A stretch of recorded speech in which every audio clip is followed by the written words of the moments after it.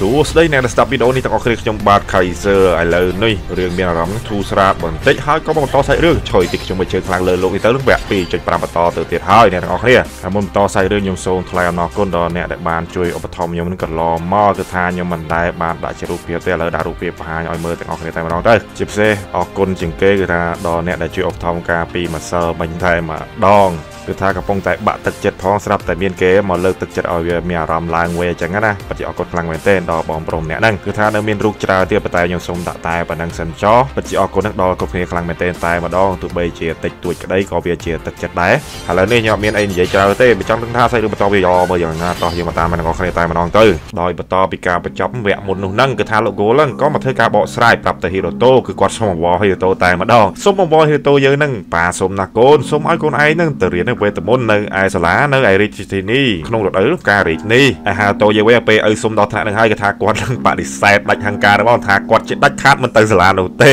ដែលលោកឪពុករបស់គាត់ក៏នឹកឃើញថាអូការពីអតីតកាលក៏ចឹងដែរចង់ឲ្យហាតូនេះទៅរៀននៅឯសាលាខេត្តក្បែរក្បែរហ្នឹងក៏ហាតូនឹងបដិសេធដែរអត់ទៅសាលាសោះគឺធ្វើឲ្យលោកឪពុកគោលម្នាក់នេះគាត់ក្តៀនយោបល់ហ្នឹងតែម្ដងមិនដឹងធ្វើយ៉ាងណាចំពោះហាតូយើងនេះនោះទេ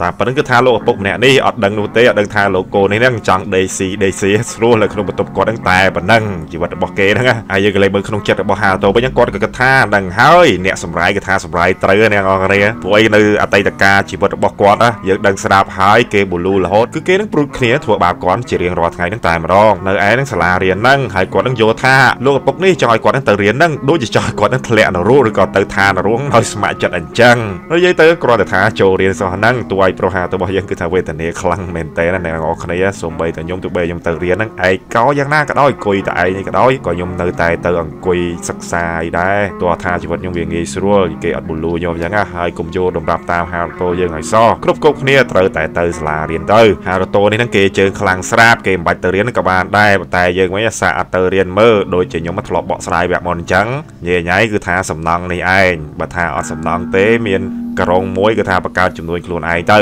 ហើយយើងចូលមកសាច់រឿងវិញគឺថាលោកឪពុកគោលម្នាក់នេះហ្នឹងគាត់ក៏បញ្ជាក់ថា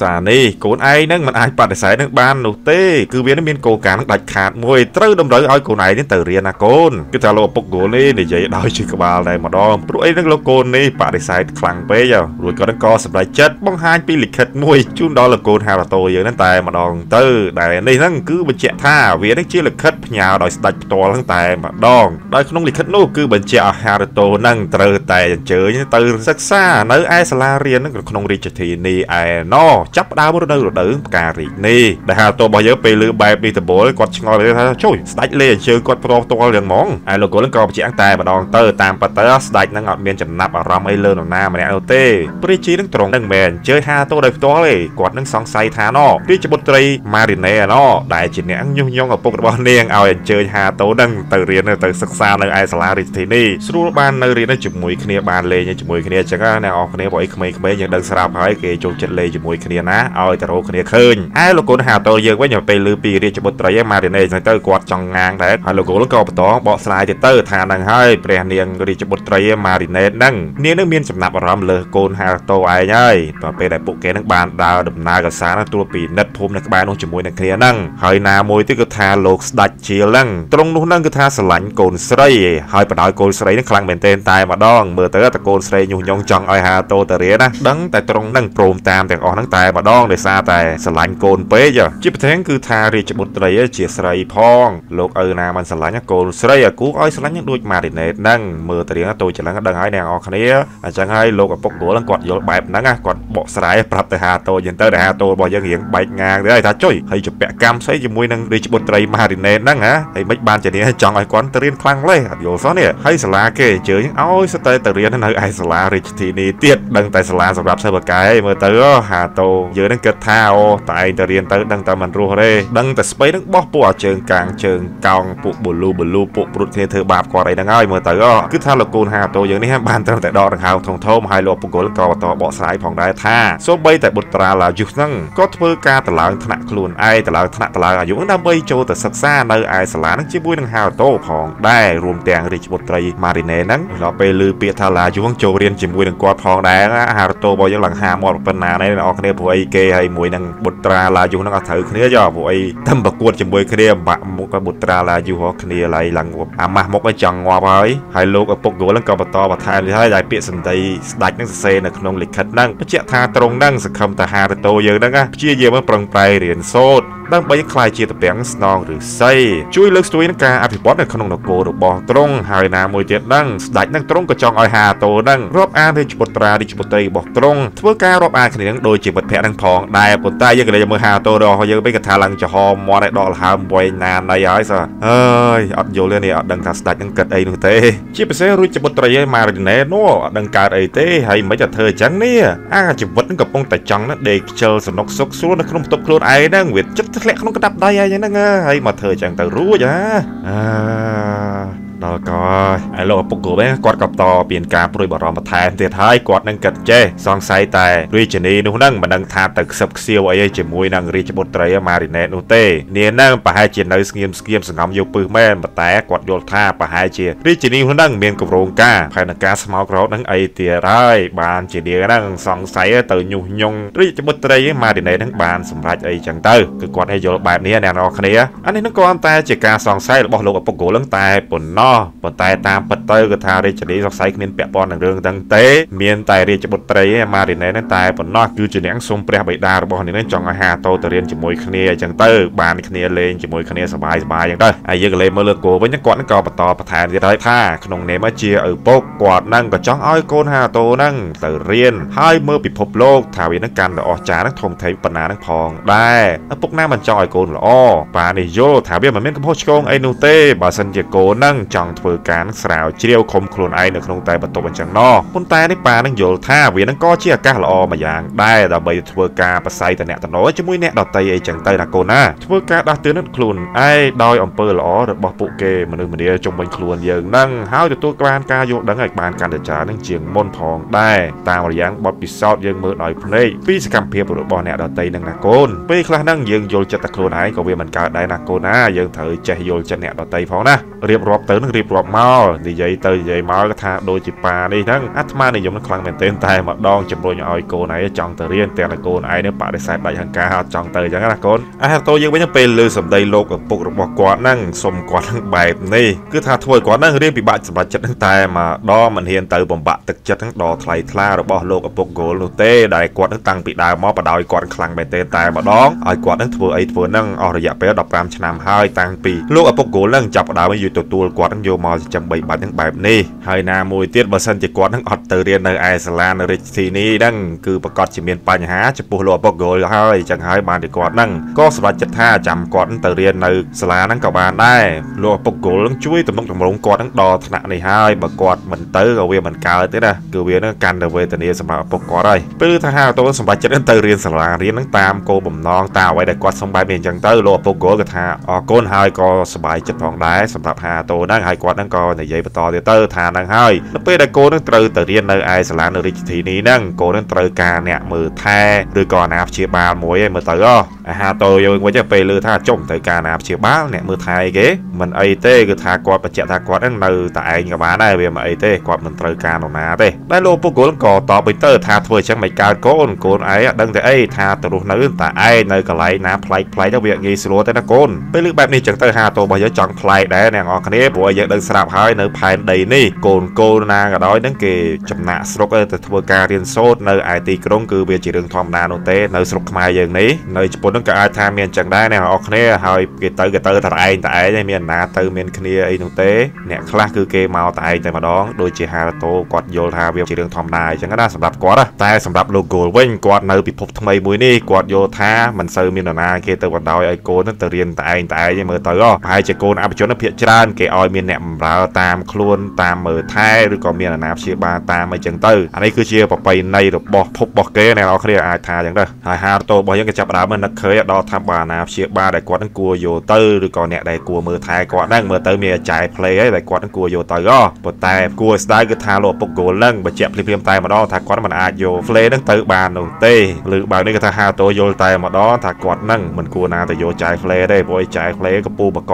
រឿងយកអ្នកនរគ្នាដឹងស្រាប់ហើយគឺថាខួរក្បាលចង់ខ្លាំងយាច័យទៀតហើយតួឯប្រុសរបស់យើងក៏នឹកឃើញថាបើសិនគាត់បដិសេធចែ play អត់យកចែ play ទៅដល់ចែ play ស្រែកដូចនៅក្នុងរូលអ្នកនរគ្នាថាលោកម្ចាស់មិនធ្វើបែបហ្នឹងដាក់រុកនាងអញ្ចឹងទៅហើយលោកឪពុក goal ហ្នឹងក៏ពេលឃើញហាតូហ្នឹងគិតសញ្ចឹងញ៉ៃញ៉ៃពេកហ្នឹងគាត់ក៏បញ្ជាក់តែម្ដងទៅចាំមើលហ្នឹងគាត់រកបញ្ជីឈ្មោះអ្នកបម្រើផ្សេងផ្សេងទៀតដែលអាចនឹងយកទៅមើលថែហាតូឬក៏អាចទៅធ្វើអាណាព្យាបាលហាតូបានអញ្ចឹងទៅដែលហាតូថាអូធ្វើអញ្ចឹងដូចជាហើយគាត់ហ្នឹងគិតក្នុងចិត្តថាទៅឲ្យមនុស្សដែលមិនស្គាល់មុខទៅមករស់នៅជាមួយខ្លួនគាត់ហ្នឹងមិនកើតធ្វើអញ្ចឹងមិនកើតនេះអ្នកទាំងអស់គ្នាដឹងស្រាប់ហើយអារម្មណ៍ដូចជាសុខសុបបន្ទប់យើងអញ្ញាអញ្ញាហើយពីណាគេចូលមកនៅជាមួយហើយយើងគួរយល់ហើយណាមួយហ្នឹងគាត់ហ្នឹងគឺជាមនុស្សហ្នឹងដេកខ្ជិលដេកខ្ជិលទៀតហើយមកឲ្យគេនៅជាមួយគេមិនដឹងច្រឹកគាត់អស់ទៅអីវាបែបហ្នឹងណាអញ្ចឹងទៅគឺថាធ្វើឲ្យលោកឪពុកគោលហើយនឹងហាតូយើងក្តៀនយោបល់តែម្ដងគាត់នឹងមិនឃើញថាគួរយកនរណាគេទៅមើលថែហើយធ្វើជាអាណាព្យាបាលគាត់ផងដែរអញ្ចឹងទៅស្រាប់តែពេលភ្លាមនោះហ្នឹងគាត់នឹងក៏លឺសំឡេងអ្នកម្ដាយណាតាលីក៏បានមកដល់ថាចុះបើយកនាងទៅមិនដែរនេះត្រូវការអ្នកមើលថែផងអាណាព្យាបាលផងឯងយកម៉ែ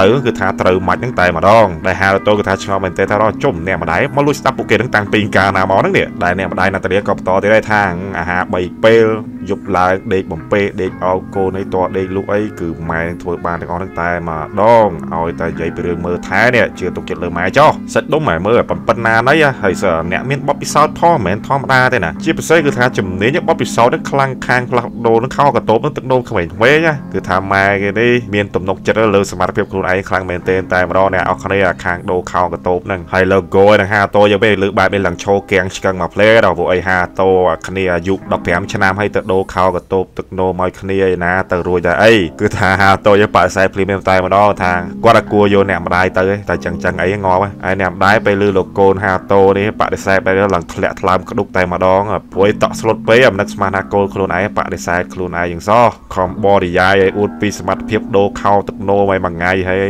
មកបដិសេធទាំងទៅចប់មកគឺថាខ្មាស់គេហើយអ្នកម្ដាយនេះក៏មកអូចអូចនិយាយឲ្យទាំងញាប់ញ័រមាត់សួរថាហេតុអ្វីបានជាអត់ជ្រើសយកម្ដាយអញ្ចឹងណាអ្នកម្ដាយដែលហៅតូយើងវិញក៏តវិញទៅថាម៉ែម៉ែមានពីណាគេយកម៉ែខ្លួនឯងទៅតាមរៀនជាមួយនៅឯទីក្រុងហ្នឹងកើតនោះទេគ្មានណាគេធ្វើអញ្ចឹងទេម៉ែហើយដូចជាអ្នកទាំងអស់គ្នានឹងផងដែរពីណាគេខ្លះដែលថាចាក់ចេញពីស្រុកខ្លួនឯងមករៀននៅទីក្រុងបែបនេះសួរថាហ៊ានយកម៉ែខ្លួនឯងមកមើលថែទំនុកបំរុងធ្វើជាអាណាព្យាបាលដល់ទីក្រុងអស់នេះហើយបន្ទាប់ពីនោះហ្នឹងលោកគោហ្នឹងក៏សម្រេចចិត្តឲ្យហាតូយហ្នឹងទៅជ្រើសរើសយកនរណាម្នាក់ដែលគាត់នឹងពេញចិត្តហ្នឹងតែម្ដងទៅឲ្យទៅទំនុកបំរុងមើលថែគាត់ផងធ្វើជាអាណាព្យាបាលគាត់ផងអីចឹងទៅគឺគាត់នៅសល់ពេល3ខែអ្នកទាំងអស់គ្នាមុនពេលដែលគាត់ត្រូវចុះឈ្មោះហ្នឹងចូលរៀននៅឯសាលានៅឯរាជធានីហ្នឹងហើយដល់ពេលចេញមកដល់ខាងក្រៅហ្នឹងហាតូរបស់យើងក៏គិតក្នុងចិត្តថាគាត់បាននិយាយថាគាត់នឹងទៅមែនប៉ុន្តែតាមពិតទៅគាត់នឹងបញ្ជាក់ថាគាត់គ្មានអារម្មណ៍នឹងទៅតាមសម្ដីដែលគាត់នឹងបាននិយាយនោះទេគឺគាត់ពេលនេះត្រូវតែរកពិធីសាស្ត្រប្រតិបត្តិការ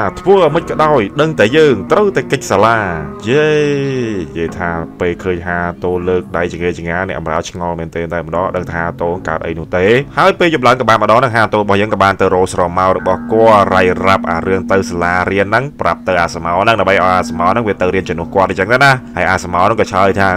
យល់ហើយយល់ហើយអូខេមិនអីទេយើងនឹងទៅជំនួសឯងហ្នឹងក៏បានដែរនេះគឺជាមូលហេតុដែលសមោយើងត្រូវបង្កើតឡើងដើម្បីបំពេញបំណងរបស់អាម្ចាស់ដើមឯងហ្នឹងហើយមិន អបិរាងកាយពិតអីគិតថាយើងនឹងនិយាយចឹងមែនណាហ៎តើយូ100ស៊ីមរៀលដឹងតែឯងបដិសេធអាកូនដែលហាតូគិតក្នុងចិត្តថាអូឲ្យថាមែនមែនអាចឹងមែនណាតើពេលគាត់នឹងសួរអាស្មោនឹងទៅថាចេអាស្មោឡៃគឺជាយើងអញ្ចឹងអាស្មោឡៃគួរយល់ហើយថាយើងនឹងគិតយ៉ាងម៉េចបែបម៉េចអីចឹងណាដែលស្មោដំបូងគេអង្គុយគិតមកផ្លែណាហើយគេនឹងក៏ដឹងតែម្ដងទៅអូដោយសារតែយើងជាសរីរាង្គចម្លងអញ្ចឹងហើយយើងមិនអាចប្រើប្រាស់ធម៌ពលវេទមន្តបានទេអញ្ចឹងមានន័យថាអបិរាងកាយពិតឯហ្នឹងចង់ធ្វើឲ្យគេហ្នឹងបើតែយើងនឹងចាក់ចេញនឹងពីសាលាដោយសារតែយើងអត់មានទេពកោសលខាងវេទមន្តចឹងអីហ៎ដែលហាតូថានឹងហើយត្រឹមត្រូវហើយគឺយើងនឹងត្រូវការឲ្យគេនឹងបណ្ដេញចេញនឹងពីសាលាដោយសារតែយើងនឹងអសមត្ថភាពបើសិនជាឲ្យគេដេញអាករណីផ្សេងទៀតវាមិនកើតទេដឹងតារដ្ឋផលចេញមកនាំឲ្យបញ្ហាដល់លោកឪពុកគោលហើយហើយអាសមោបាយភៀក៏ចាប់ដើមយល់ហើយអូតាមពិតនឹងកម្រងការចឹងទៅអីចង់ទម្លាក់កំហុសលើស្ដាច់ដែលចេះតែណែនាំហ្នឹងលើកសមត្ថភាពហាតូនឹងខ្លាំងប្រមាណហួសពីអ្វីដែលគាត់មានអីចឹងទៅហើហើយចេះតែមកណែនាំសាលាហ្នឹងឲ្យទទួលឈ្មោះហាតោធ្វើជាសិស្សអីណាអានេះវាជាកំហុសរបស់ស្ដេចចង់កម្រងការគេធ្វើបែបហ្នឹងណាអ្នកគ្នាកម្រងការពីរអ្នកគេនេះចង់តម្លាក់កំហុសឲ្យស្ដេចចេះតែណែនាំពេកអ្វីដែលសំខាន់គឺថាអាស្មោនេះហ្នឹងវាយល់ថាហាតោក៏អាចធ្វើចឹងបានដែរតើហើយចាំបាច់មកសួរវាទៅអីហ่าវាចង់ដេកខ្ជិលដែរនេះដែលហាតោយើងក៏បញ្ជាក់ទៅថាហ្នឹងហើយមកពីគាត់ហ្នឹងមានថាមពលវេទមន្តរនាំងនៅក្នុងខ្លួនអញ្ចឹងទៅពេលខ្លះតែគេរោរឿងគាត់អីចឹងខ្លាចគាត់នឹងមានអារម្មណ៍ពុកកញ្ជោទ្រាំមិនបានទៅវាយបកទៅវិញអានេះបញ្ហាកាន់តែធំទៀតយល់ទេអាស្មោលតែពេលជ្រុលមាត់និយាយអារឿងវាយគ្នាអីតបបតៃបតបអីមួយគេអាម៉ាត់នឹងទៅធ្វើឲ្យគាត់នឹងកាំងស្ដោកតែម្ដងមិនស្មានថាគាត់ជ្រុលមាត់ណាអ្នកនរអាស្មោលនេះដឹងកម្រងការរបស់ហាតូយកបដឲ្យថាអូអាប៉ែនេះវាសាំតប៉ែវាចង់ឲ្យធ្វើបាវសាឲ្យវាហ្នឹងអញ្ចឹងអាហាតូយកវិញគាត់គិតថាអូឯងឆ្លាតមែនអើយកម្រងការខ្លួនឯងដឹងខ្លួនឯងតាមជន់កែងខ្លួនឯងតន់ទៀតអាស្មោលនេះប៉ិនមែនណាអាហាតូយកវិញទៅពេលលឺអាស្មោលហ្នឹងវាប៉ិនឯងខាងដោះសាបដិសេធខ្លាំងពេកទៅគាត់ក៏លើកចេះទៅថាចេះបើសិនជាមានរឿងអីកើតឡើងចំពោះអបិស្មោឡើយយើងក៏មានអាស្មោផ្សេងទៀតសម្រាប់ដោះដូរវេទជាមួយនឹងឯងដែរនិយាយបែបនេះថាស្មោឡើងស្លន់តែម្ដងមិនស្មានថាហាតូនេះមានបំណងចង់កំតិចវាអញ្ចឹងណាឡើងបោកខ្លួនឲ្យសួរហាតូអញ្ចឹងហើយថាមុនវាហ្នឹងមានស្មោប្រមាណហើយហ่าតែអបិឯងនឹងបានកំតិចរហូតមកដល់វេទយើងនេះនេះហាមិនធ្វើអញ្ចឹងដល់ពេលឃើញបែបនេះអញ្ចឹងទៅហាតូរបស់យើងក៏ណិតក៏និយាយថាអត់ទេគ្រាន់តែនិយាយលេងតាតាមប៉ិតអូនតូឆាឡនហ្នឹងក៏បញ្ជាក់ប្រាប់ដែរមើលទៅអូនតូឆាឡនហាមខាត់គាត់មិនឲ្យធ្វើចឹងទេដោយសារតែអូនតូឆាឡនហ្នឹងមានអារម្មណ៍អាណិតហ្នឹងដល់ស្មោលហារតូហ្នឹងខ្លាំងមែនទេតែម្ដងព្រោះមានអតចរិតស្តៀងគ្នាចា ហើយស្មៅក៏ថាអត់មានខ្វល់ពីលេសដោះសាររបស់ម្ចាស់ពិតហាតូយើងទេហើយក៏និយាយថាអាពេឯងហ្នឹងប្រកាសជាមានកំណងចង់ធ្វើអញ្ចឹងហើយអាសូម្បីតែកិតហ្នឹងក៏ហ៊ានកិតទៀតអីក៏ចិត្តខោខើម្លេះតពេលដឹងជ្រឹករបស់ហាតូយើងទៅឡើងហាតូគ្នាងាកមុខចេញហ៊ានមើលអាស្មៅដែលគាត់បង្កើតឡើងទៀតព្រោះគាត់មានបំឡងចង់បលេះអាស្មៅហ្នឹងមែនដោយសារខ្ជិលពេកខ្ជិលជាងគាត់ទៀតអាពេនេះហើយស្មៅដល់ពេលឃើញអញ្ចឹងទៅទ្រាំលេងបានក៏ដេកប្រកាច់កិនតែម្ដងរអ៊ូចេះចេះចេះចេះថាអត់ចង់ខ្លាចជាស្មៅរបស់អាពេនេះទេអាពេនេះវាចិត្តខោខើខ្លាំងណាស់ហើយចឹងទៅអ្នកនរគ្នាដែលហាតូវិញគិតក្នុងចិត្តវិញគាត់គិតចេះថាអើយឲ្យទៅពេលឯងហ្នឹងមានអារម្មណ៍ថា ក្តៀនយោបល់ឲ្យស្មុកស្មាញ depression បាក់ទឹកចិត្តអីខ្លាំងពេកដែលបកាច់កិនដោយអាប៉ិនឹងអញ្ចឹងនេះគឺថាចេះពីអ្នកគេដូចគ្នាហ្មងអ្នកអរគ្នាហាតូគាត់ធ្លាប់ឆ្លងកាត់អាបកាច់កិនយ៉ាងដែរហាតូយើងក៏ប្រាប់ឲ្យស្មាចិត្តជាចិត្តជាតែអាស្មាអរថាបិទមាត់ហ្នឹងអាតូយើងក៏អស់និយាយគាត់ក៏ថាចេះទៅអើណាហើយចុះហ្នឹងហើយចាំឯងជប់វេទមន្តរនាំងការពារខ្លួនទៅដាក់ឲ្យអបិសមោឡៃជាពិសេសហ្មងមិនឲ្យឈឺចាប់អីទេឲ្យគេវាយអីវាយតែអ្វីដែលសំខាន់ណាអបិសមោឯងទៅតែបំពេញកិច្ចកម្មមួយនេះជាដាច់ខាត់ហ្នឹងតែម្ដងត្រូវទៅរៀនជំនួសយើងហើយយើងក៏មានដកពាក្យវិញអើយនិយាយប្រាប់ឲ្យហើយតែសមោនេះគឺថាឡើងដកទៅហើមធំដោយហាតូយើងអញ្ចឹងអ្នកនរអគ្នាគឺថាស្លឹកឈើវាជ្រុះមិនឆ្ងាយពីគល់ណាអ្នកនរគ្នាអើ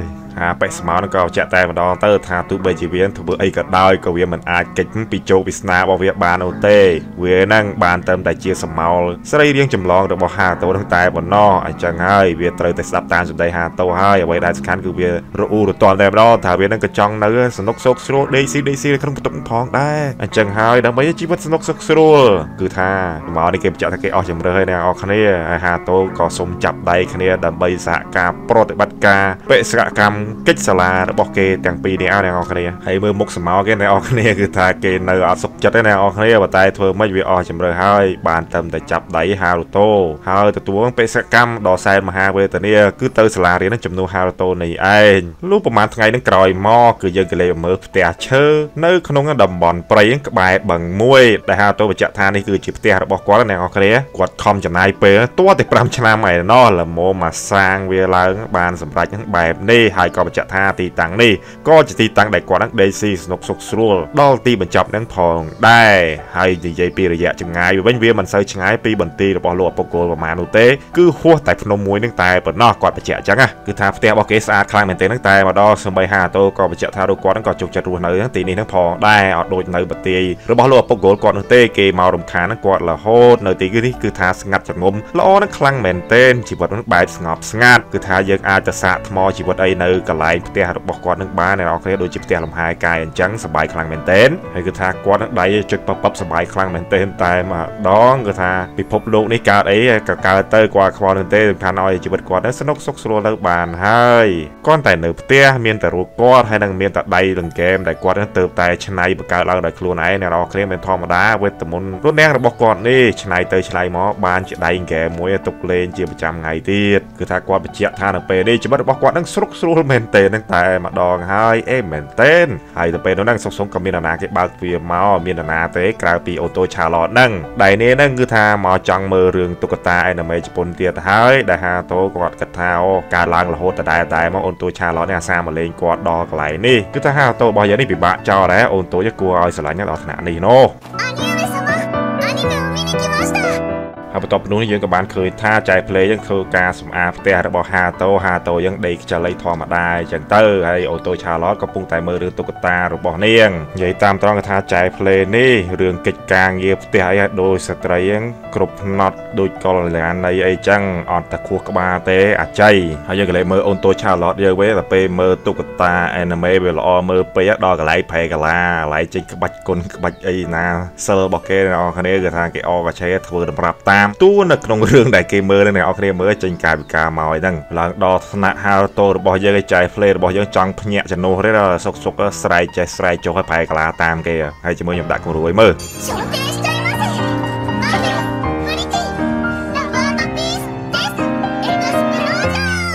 ដល់ពេលសំដែងចាប់គេធ្វើដូចហត់របស់គេណាអរគ្នាហើយហាតូលក៏និយាយសួរទៅថាងឃើញខ្លួនឯងខានមកយូរស្មានតែអូនតូចឯងធុញនឹងរឿងលេងចង់មើលហើយបានជាខានឃើញមករៀងយូរដែរហើយដែលអូនតូចឆាឡតរៀងចេញទឹកមុខមកស្រងាក់ចិត្តដោយបញ្ជាក់ថាតាមពិតទៅដោយសារតែនាងហ្នឹងត្រូវតែទៅរៀនមុខវិជ្ជាច្រើនមែនទែនតែម្ដងគឺថាកាន់តែកើនឡើងហើយយើងដឹងស្រាប់ហើយអាយុកាន់តែកើនឡើងមុខជំនាញមុខវិជ្ជាដែលយើងត្រូវរៀនក៏វាកើនឡើងផងដែរអញ្ចឹងហើយបានជានាងបញ្ជាក់ថាមានគេនឹងប្រាប់ឲ្យនាងហ្នឹងឈប់នឹងមកលេងបន្ទប់ហារតូតទៅទៀតទៅព្រោះអីថាវ័យនាងគឺថាវ័យត្រូវសិក្សាអាហារតូយើងវិញពេលលើថាមានគេប្រាប់អូតូឆាឡតឈប់មកលេងបន្ទប់គាត់អីចឹងទៅគាត់យល់ថាចេះប្រហែលជាម្នាក់នោះហ្នឹងមិនចង់ឲ្យអូតូឆាឡតហ្នឹងតោងគាត់ហ្នឹងខ្លាំងពេកហើយមើលទៅបើមួយថ្ងៃមួយថ្ងៃងាកចូលរហូតតែបន្ទប់គាត់រហូតអញ្ចឹងហើយអូតូឆាឡតហ្នឹងក៏បន្តទៀតហើយថាមួយទៀតហ្នឹងក៏នាងពិបាកមកដែរសារកន្លែងនេះវារៀងឆ្ងាយដែរតតោះនាងហ្នឹងសុំ play មកជាមួយនាងបាននាងហ្នឹងអាចមកបានបើមិនចឹងទេនាងមិនអាចមកដល់ទីនេះបាននោះទេហើយនាងក៏រងើរងើដែរថានាងពិតចង់មើលរឿងតុក្កតាដើម្បីនឹងខ្លាំងណាស់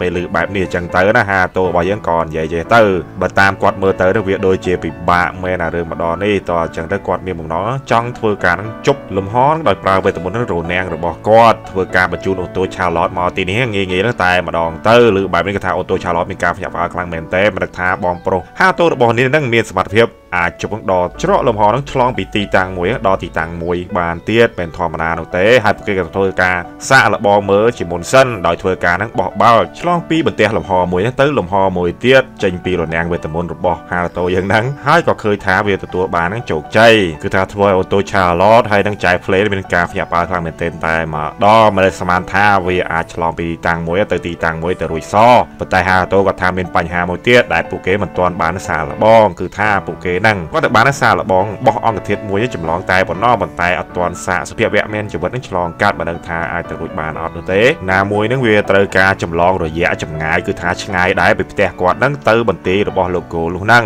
ណាមួយនឹងគាត់មិនដឹងថាវានឹងមានសុវត្ថិភាពឬអត់នោះទេឲ្យមនុស្សណាម្នាក់ឆ្លងកាត់អញ្ចឹងទៅគឺគាត់ហ៊ានធានាដែរអ្នកនរគ្នាប៉ុន្តែពេលនោះចែកភ្លេនក៏លើកឡើងថាបើលោកម្ចាស់ហាតូនិយាយអញ្ចឹងចោះមិនសាឲ្យអាសមោស្រីរៀងចម្លងរបស់លោកម្ចាស់ហាតូឲ្យឆ្លងកាត់មើលមើលដោយលើកបែបនេះអញ្ចឹងទៅហាតូក៏បញ្ជាក់តែម្ដងទៅថាចែកភ្លេនេះពេលខ្លះគឺថាកាចដែរហ្នឹងអត់មានបណៃអត់មានមេត្តាអាណិតអីដល់អាសមោអីអត់នោះទេដែលចែកភ្លេក៏លើកឡើងថាតែម្ដងទៅចុះអាសមោនឹងលោកម្ចាស់ហាតូបង្កើតមកដើម្បីប្រើប្រាស់ទៅអីអញ្ចឹងត្រូវប្រើប្រាស់វាខ្លះទៅអូតូឆាឡតបាទឈោហេបហបឲ្យហត់មកមើលពួកគេសន្ទនាគ្នាទេហើយសុកសុកភ្លាមហ្នឹងហាតូបើក៏ជប់រំនាំងរំហដ៏ធំមួយល្មមនឹងអាចឲ្យមនុស្សឆ្លងកាត់បានហើយក៏ស្រែកហៅនឹងអាសមោរបស់គាត់នោះដែលសមោរបស់គាត់នោះគេថាភ្ជាប់បើខ្លាំងមែនទេតែម្ដងសុកសុកមានគេមកលបនិយាយពីក្រោយខ្នងគាត់អ្នកនរគ្នាពេលខ្លះយើងដឹងស្រាប់ហើយយើងកំពុងតែមើលអារឿងស្អីជនក្រីក្រឬក៏អីហ្នឹងសុកសុកសារលើសម្លេងពីក្រោយខ្នងយើងមិនភ័យយកមិនស្លន់ឯងបិទមិនតាន់ញ៉ៃញ៉ៃតែសំណាងអាស្មោនេះវាកំពុងមើល Google អ្នកនរគ្នា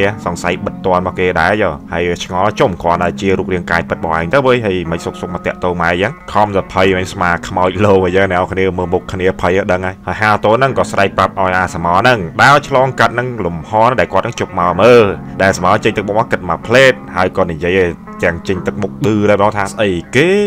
ស្មានតែយើងមិនដឹងក្រងការរបស់អពេឯងអីហ่าចង់ប្រើប្រាស់យើងនឹងដូចជាឧបករណ៍យកមកសាកលបង អនុវត្តនឹងទ្រឹស្ដីវេទមន្តសាសរបស់ឯងអីហ่าគុំសង្ឃឹមនឹងឲ្យសហារតូក៏ទ្រាំនឹងទៅធ្វើអាសមោនឹងមិនបានហើយក៏ស្រែកបោកអាសមោនឹងបិទមាត់ហើយមកលឿនលឿនមកហើយសមោជានិយាយឌឺវិញទៀតថាចុះអាពេឯងមិនមកវិញមកបើឯងខ្លាំងហើយឆ្លៀតនឹងងាកមុខមកហើយនិយាយឌឺទៀតថាហាមិនឥឡូវហើយខ្លាចស្អីគេហ្នឹងខ្លាំងចូលមក ហើយច្បាស់ហើយយើងដឹងច្បាស់ណាស់ច្បាស់ដូចថ្ងៃហ្នឹងតែម្ដងថាឯងកំពុងតែគិតអីណោះឯងហ្នឹងខ្លាចសារលបងឆ្លងកាត់ទៅវេទមន្តលំហខ្លួនឯងបរាជ័យទៅលេងជាប់នៅក្នុងដែនលំហរបស់ខ្លួនឯងគឺថាចេញអត់រួចអីទៅអាកុំមកចង់ខ្លាំងស្មាយើងអត់ដឹងអីសោះលឺមកឃ្លៀននេះមកចែកផ្លេងថាមានអារម្មណ៍ទ្រាំលេងចង់បានហើយអាសមោលេងសែកឌឺទៀតថា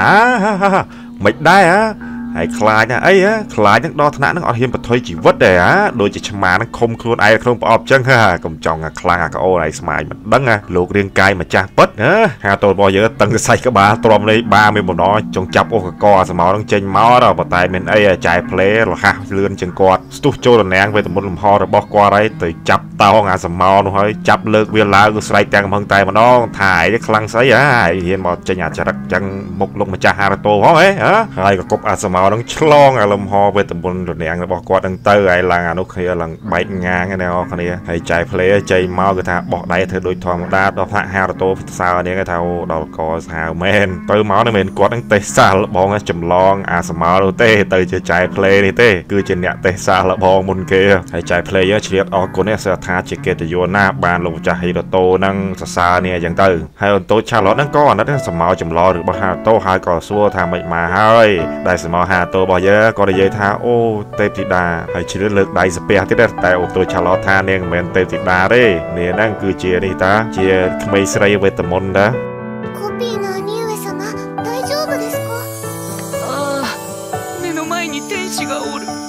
少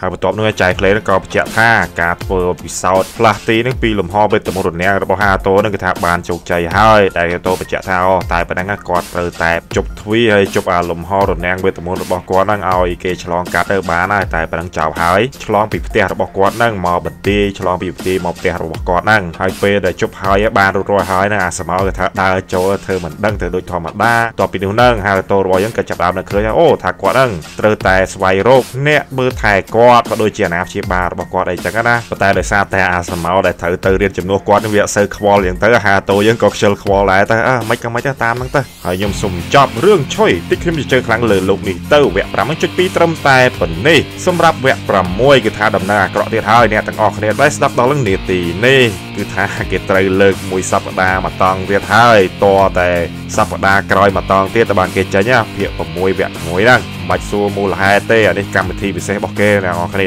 មានតែប៉ុណ្ណឹងហើយពិតជាអរគុណមែនទែនដល់អ្នកដែលតែងតែតាមដានស្ដាប់នៃការស្ដាយរបស់ខ្ញុំបាទនឹងខៃសឺជួបពលគ្រប់គ្នាសំណាងល្អសុខភាពល្អគ្រប់ពេលវេលាគ្រប់ទីកន្លែងតែម្ដងបាទ